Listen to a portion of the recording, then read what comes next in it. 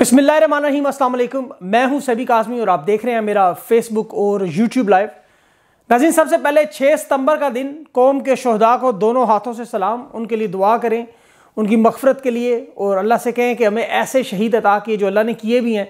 शुमाली वजीरस्तान में पाँच बहादुर अपने वतन पर कुर्बान हो गए। शहदा की अजमत को बार बार सलाम। लेकिन इनका खून बेचने वाले और उस पर सियासत करने वाले इन लोगों पर चार हरफ ज़रूर अब भेजें। ज़रा कुछ खबरें सुन लें। पहला बयान जस्टिस सतर मिनुल्ला ने दिया कि क्या इमरान खान को फ़िक्र नहीं? क्यों सब कुछ दाव पर लगा रहे गेम ऑफ़ थ्रोन्स कह रहा है वो। Chief justice Athar Minallah. Pakistan, इनसे हम नाउमीद हैं। बदकिस्मती है। ये पाक फौज के तर्जुमान ने कहा। इमरान खान के बारे में बदकिस्मती, नाउमीदी और कह रहे हैं हम शदीद गुस्सा रंज है। और रूस में जो काबुल में जो मामला पेश आया उसके फ़ौर बाद शुमाली वजीरस्तान में पाकिस्तान के पाँच फौजी, वो जो बड़ी गेम जिसका आप ज़िक्र करते हैं, वो यही है, खेली जा रही है। बोनों के शहर में जब एक कदावर इंसान, ये इनसे हज़म नहीं हो रहा। इल्ज़ाम यह है कि हम जैसा बोना क्यों नहीं है? इसलिए ये कभी कायदे और कभी कवानीन को लाते हैं तोड़ें फातिमा जना, शेख मुजीब जुल्फ़ार अली भुट्टो और अब इमरान खान। ये न्यूट्रल्स पर सब इन्हें हमेशा गुस्सा आता है। सत्तर साल हो गए मुल्क के, दो टुकड़े इन्होंने किए। अमेरिका की छोटी सी कॉलोनी बना दी इन्होंने। डॉलरों के पीछे इन्होंने जहाद का नारा लगा के मासूम बच्चों के साथ जो हुआ, फिर मुल्क इकोनॉमी को जिस तरह खुडे लाइन ने लगाया। इनका गम और गुस्सा ही नहीं ख़त्म हो रहा। इन्हें इमरान खान का एहसान मानना चाहिए कि इनके चेहरे पर जो नकाब इस वक्त पड़ा हुआ है, ये इमरान खान उठा नहीं रहा उसे। अगर उसे उठा दे तो फिर इन्हें गम गुस्सा, फिर शहीद। भाड़ में जाए इनका गम गुस्सा। गम गुस्सा इनको आता है, कांपती टांगे और पसीने पर, माथे पर पसीना। ये सुनकर गुस्सा नहीं आया। मरियम नवाज़ की स्टेटमेंट सुनकर कि हम, ये गैरत नहीं है, इनके अंदर गुस्सा नहीं आया। सात लाख के फौजी हैं लेफ्टिनेंट से लेकर ब्रिगेडियर लेवल के लोगों से पूछे, वो क्या सोचते हैं? क्या पैमाना है आपका? ख्वाजा आसिफ, वज़ीर दिफा कह रहे हैं कि जी, इमरान खान पर कानून के तहत अब हम इसे छोड़ेंगे नहीं इतिहादी पूरी हुकूमत। ज़रा सुने, ये वही शख्स है जो ने ताने मारता था मुँह पे कि कारगिल से पैंसठ इकहत्तर तक आप जंगे हारे हो। ख्वाजा आसिफ के साथ नवाज़ शरीफ इनके पहलू में जाकर किस तरह बैठे, किस तरह ये, कि जिनकी गवाही इंटरनेशनल कोर्ट में डॉन लीक्स वॉल्यूम टेन में पूरे पूरे सफात भरे हुए हैं, जिसे ये बेटी कहते हैं और राजकुमारी साहिबा की बाजुबानी सुने, कहती हैं ये बेदाग होने चाहिए, तनकीद से पाक होने चाहिए। इमरान खान का बयान गैर आईनी अच्छा ये क्या कौन है जो खुद गैर आइनी काम कर रहा है? काम जो वज़ीर दिफा ने करना था, ये जर्नल से करवा रहे हैं। ये भूल गए हैं कि उन्नीस में जंग अखबार समेत कितने अखबार बंद हुए, किसने करवाए? 2014 में जियो को किसने बंद कराया? 2022 में एयर वाई और बोल टीवी किसने बंद कराया? इन तमाम अदवार में नून लीग की हुकूमती नवाज़ शरीफ थे, लेकिन गुस्सा इमरान खान पर। जुल्फकार अली भुट्टो की हुकूमत किसने बरतरफ की थी? जनरल मुशरफ को किसने कहा कि तैयार अगवा कर है? गुस्सा इमरान खान पे। जनरल मुशरफ पर आर्टिकल सिक्स का मुकदमा, फांसी उसकी बात कहते जी, लाश लटकाएँ जी इसको। किस दौर में हुआ? गुस्सा इमरान खान पे। तुम तीन साल के लिए आते हो, हम उम्र भर रहेंगे। बाज आ जाओ, वरना ईंट से ईंट बजाएँगे। कहा आसिफ जरदारी ने गुस्सा इमरान खान पे। General Qamar जमर Javed Bajwa DG ISI general Faiz Hameed तुमने मुझे क्यों निकाला? अवाम से गद्दारी की। जवाब देना होगा, नवाज़ शरीफ ने कहा। गुस्सा इमरान खान पे आ गया। हमें बंदूक उठाने पर मजबूर न करो। उदारों को वार्निंग दे रहा हूँ फजल रहमान साहब ने कहा। गुस्सा इन्हें इमरान खान पे आ गया। फौज ने अवाम की हड्डियों से गोश्त तक नोच डाला। ख्वाजा आसिफ, वज़ीर दिफा, गुस्सा इमरान खान पे। आर्मी चीफ एंटर हुए, माथे पे पसीना, टांगे काँप रहे मशहूर जुमला या सादक डॉन लीक्स, नवाज़ शरीफ ने कहा, हम तो चाहते थे, लेकिन फौज नहीं चाहती, दहशतगर्दी खत्म हो। गुस्सा इमरान खान पे। मरियम ने जलसे में नारे लगवाए। ये दहशतगर्दी के पीछे वर्दी है। गुस्सा इमरान खान पे। जनरल फैज हमीद बेचारे को हमने खुडे लाइन लगा दिया। चौथा जनरल है, जनरल चीफ के लाइन में। आसिफ जरदारी ने कहा, गुस्सा इमरान खान पे। मुल्क खराब, जनरल करें, ठीक, हम करें, परवेज रशीद ने कहा, गुस्सा इमरान खान पे। आर्मी चीफ की तकर्री मेरिट पर हो, मनपसंदी पर हो, ये सिर्फ़ इमरान खान ने कहा। और इतना सख्त रद्द अमल, इतना शदीद गुस्सा, और हाय तेरा गुस्सा, इतना नाजुक मिजाज, इतनी जल्दी गुस्सा। कौमी खुददारी, सलामती, वकार की बात, मेरिट की बात हो गुस्सा नहीं आता।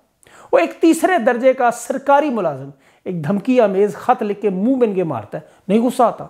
एबटाबाद का वाक्य होता है, नहीं गुस्सा आता। भारत का आवारा मिज़ाइल घूमता है, फजाई हदूद की खिलाफ वर्जी करता है। वो एक सिविलियन मिस्त्री ने देखा, वो रिपोर्ट करता है कि जी यहाँ कुछ गिरा है, उसको सौ पचास इनाम बल्कि दिया होगा। कोई गुस्सा नहीं आया। बाईस करोड़ का मुंतखब लीडर कौम की मजमू मुफाद में खुददारी की बात करे, इन्हें गुस्सा आ जाता है। देखें, तहरीक इंसाफ और इमरान खान, इन्हें पता होना चाहिए कि इस वक्त अमला जब मुल्क में आइन मअतल कर दिया जाए, सिविल या फौजी या अमरीत हो तो आइनी तकाज़ों और उनकी कुलियों की बात करना बगावत होती है। आर्मी चीफ कौन होगा, इस पर बात करने का फैसले का सिर्फ़ और सिर्फ़ जाति उम्र और लड़काना वालों को हासिल है। ये लिख दें इस आइन में यह अतरमल्ला साहब से दरख्वास्त करेंगे, लिख दें इस आइन में कि सियासतदान के बयान से क्या तकलीफ़ है। अब उन्हें से क्या लेना है? पाँच महीनों में जो इंसानी हकूक पामाल हुए पाकिस्तान में, चोर, डाकू, मुजरिम, हुक्मरान बना गए बस्तालिफ के बदमाश, बदतरीन तशद हुआ, अगवा हुए, मीडिया बंद हुआ, इन्हें कोई तकलीफ़ नहीं हुई। अवाम को अब गुस्सा आना शुरू हो रहा है, उससे आप डरे। कभी अवाम के जज्बात और तासुरात करीब से जाके देखें, सुने जलसों में बैठ के। लोगों ने कस्में उठाई हुई हैं। बच्चों समेत मैं तो खुद वहाँ जलसों में रहूँ। इज़्ज़त की बात ना करें, नफरत, ये लोगों को अपनी नस्लों में जा रही है ये बातें।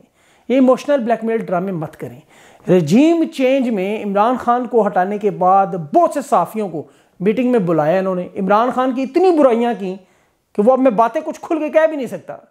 जब आएगा थोड़ा वक्त तो फिर आहिस्ता आहिस्ता आपको पता है थोड़ी थोड़ी करके आपको बता सकते हैं। क्योंकि अवाम को इतना गमो गुस्से में लाना नहीं हमने। इन्हें क्योंकि गुस्सा आ जाता है। सिविल सुप्रमेसी की तारीफ़। इमरान खान ने आर्मी चीफ के तकर्री की बात की। ये बिल्कुल एन सिविल सुप्रमेसी के मुताबिक नहीं है बात।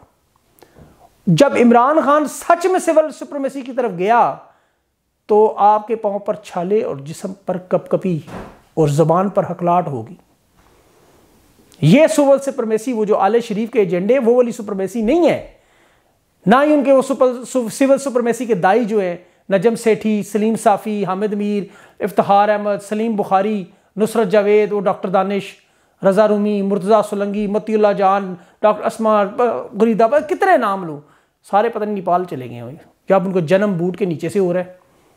हलाकू खान का जो कमांडर है ना, नोयान का चेला बाशू, इसने तनगूद के ज़रिए अर्तगल की बलागी लाइन काटी, कि जो इन्होंने सारा मीडिया किया है। लेकिन हक का रास्ता मुश्किल है, इसमें कोई शक नहीं, लेकिन देखें हो जाता है। इस वक्त तमाम हक के साथ खड़ी है। हकीकी आज़ादी के साथ खड़ी है। और ये जो इनके स्लीबी चेले बने हुए ना, इनका हाल आप देखिएगा, क्योंकि मसला ये है, सियासी मैदान में इनको शिकस्त होगी बुरी तरह। इन्हें अपनी आँखें खोलनी चाहिए, हालात को देखना चाहिए। वाक़ जो काबल में हुआ, दो रूसी उसमें काम आए। उसके फ़ौर बाद शुमाली वजीरस्तान में। अच्छा ये वो इलाका है जो इन्होंने कहा था जी कि यहाँ तो सारा क्लियर हमने कर दिया खाली करवा दिया सारा अमन हो गया है। क्योंकि जो करने वाले थे, उनसे उन्होंने माहे करने शुरू कर दिए। होश के नाखुन लेकर इन्हें इमरान खान का पीछा छोड़ना होगा। जाने दें उसे अवाम में। अवाम को फैसला करने दें। आप कितनी अपनी उसमें बार बार जो है वो गुस्सा आ जाता है आपको। कोई आपको हक की बात करे, आपको गुस्सा आ जाता है एकदम। इतना गुस्सा आपके अंदर भरा हुआ है यार। अपनों पे ही निकालना है सारा गुस्सा। अपनों को ही मारना है आपने बार बार आप अपने गुस्से पे काबू पाए। क्योंकि अभी तक मुखालफी को गुस्सा नहीं आया। जिन्हें आपने मुखालफी ज़बरदस्ती बना दिए मैं बार बार बात करता हूँ कि आप नो एग्जिट फ्रॉम पाकिस्तान किताब को जिन्होंने नहीं पढ़ा बर मेहरबानी पढ़ ली। उसमें सबसे बड़ा अहम पहलू ये है कि फ़ौज और अवाम के दरमियान दूरियाँ डालना। ये तो चले जाएँगे नवंबर में। अल्लाह जाने, शायद ना जाएँ। अभी तो अभी तक तो फ़िलहाल कोई ऐसा नज़र नहीं आ रहा एक्सटेंशन वाला मामला, यानी कि जाने का मामला। लेकिन ये तो हाजी साहब चले जाएँगे। लेकिन ये दूरियाँ डाल रहे हैं। वो बाकी आने वाले किस तरह इस सारे गैप को फिल करेंगे? इससे पहले आप माजी में देखें यया खान से लेकर, जनरल अयूब खान से लेकर, जयाउल हक से लेकर, इसके बाद जनरल मुशरफ से लेकर, ये अब, ये जितने मामला थे किसी ने ठीक करने की कितनी कोशिश की? नहीं ठीक हो सका। नहीं ठीक हो सका। आज बांग्लादेशी, वो भी छोड़े आप। अफ़गानिस्तान में देखें, हिंदुस्तान, पाकिस्तान का मैच होता है, वो उठ के स्क्रीनें हिंदुस्तान की क्यों चूमते हैं उनके खिलाड़ियों को? क्योंकि ये इनके लगाए हुए पौधे हैं जो अब बड़े होते जा रहे हैं। फातिमा जिना के साथ, शेख मुजीबर रहमान के साथ जुल्फ़ार अली भुट्टो के साथ। ये तारीख से सीखते ही कुछ नहीं।